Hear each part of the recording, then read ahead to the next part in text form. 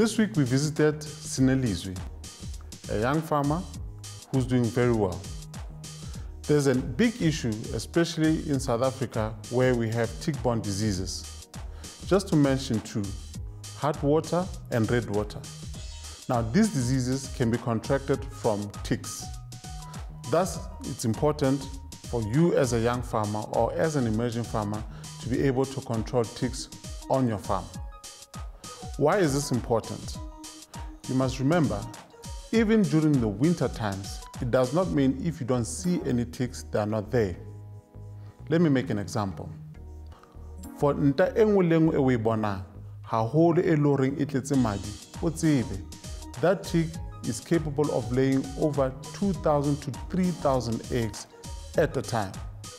You must remember, dipping for ticks is very important and skipping a dip thus will lead to resistance. It is important for you to remember to dip against ticks during the winter times. We've spoken about different tick treatments, especially dips. In this instance, as Elanco, we have a trifender, which is a pour-on dip that can be used.